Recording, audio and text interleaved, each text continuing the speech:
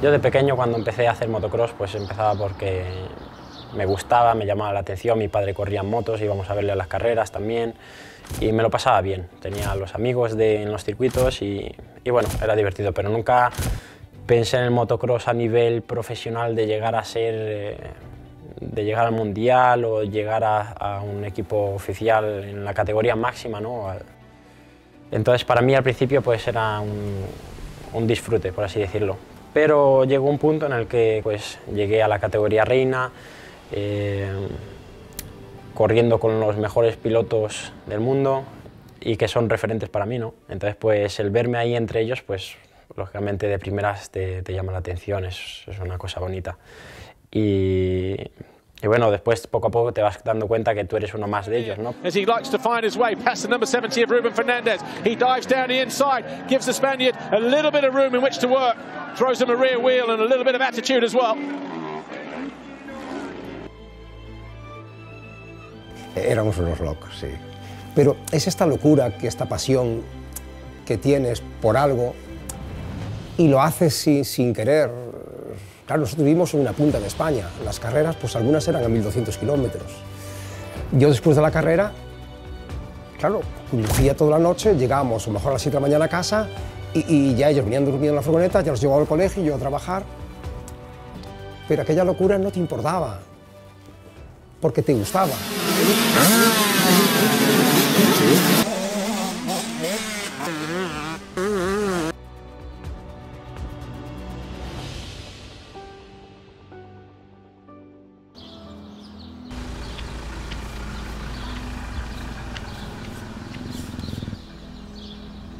Então, eu conheci o Ruben sempre nos GPs, é, estávamos sempre falando e conversando, fazendo brincadeiras. E acho que surgiu a oportunidade de, de eu ir trabalhar com ele. Ele é uma pessoa muito boa, os, a família dele são todos bons e o Ruben é muito carismático, Faltaba un poquinho de fluidez. Faltava sì. peleare un poco con pista. Eh, però eh, E a pala faz tanta diferença. eh, tinha outro sempre eh, ah, na- nas olas. Tinha um na tua frente também. Ah, sí. Esta vez, na última. Sì, Na sì, última. sì, sì, sì. Porque estaba melhorando. Eh, sì, sì, sì, sì, stava migliorando. Ah, fodeu aquele cabrón.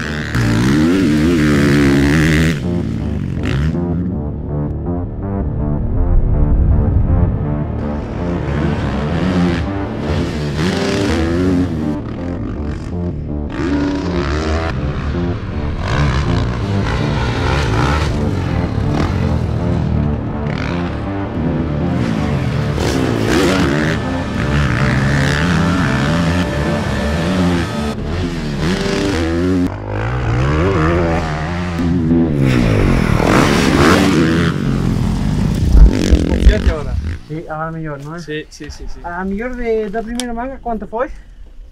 Eh, 48 8 E agora? sì. Agora? 48 1. 48. Eu fiz unhas quantas, non Sí. 48. né? Sí, é mellor. No, É eu, ve- eu vejo também, estás mais. Sí, é divertido.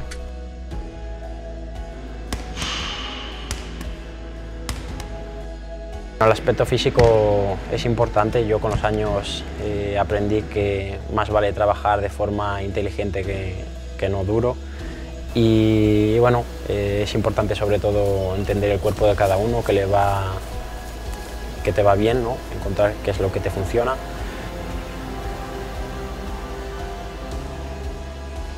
Después también está el aspecto mental, ¿no? es un poco más complejo yo, yo creo, pero rodearte de, de buena gente y, y- de buenas personas, con, tanto a nivel personal como laboral.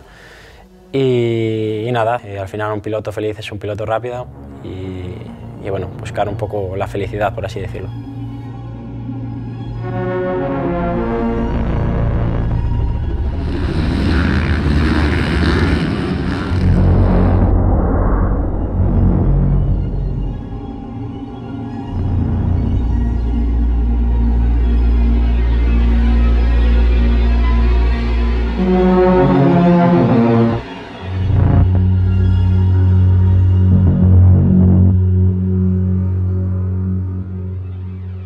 Pré-temporada é muito importante, é muito importante para tanto para o piloto, é, de tempo com a moto, conhecer a moto nova, é, para o mecânico também, é, criar um, um feeling com, com o piloto para entender é, quando ele está bem, quando não está.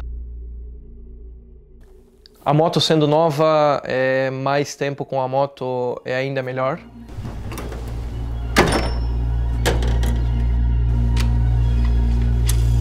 Normalmente tudo é já tudo testado e tudo mecanicamente pronto para poder fazer o, a- as corridas e tudo.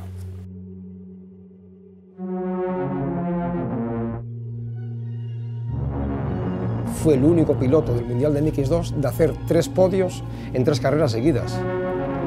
Y ya como, me parece que fue la segunda, me comentó, oye Paco, ¿tú crees que Rubén si, si le decimos para correr en Mantova en la MX1, qué querrá?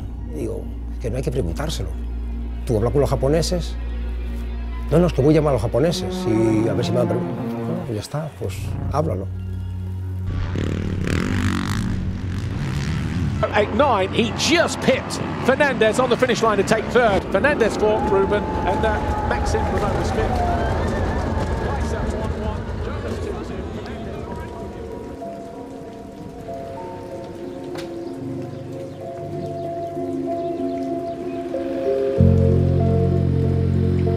Este hombro, macho, eh, te había dicho de ahí atrás, ¿sabes? Como, como cuando tuve la, esto, Ese como fue que mano. habíamos la- el que estaba lastimado. ya. Sí, pero se me nota, lo noto un poco raro todavía, ¿sabes? A la que hago un gesto malo o lo que sea, como que me da dolor.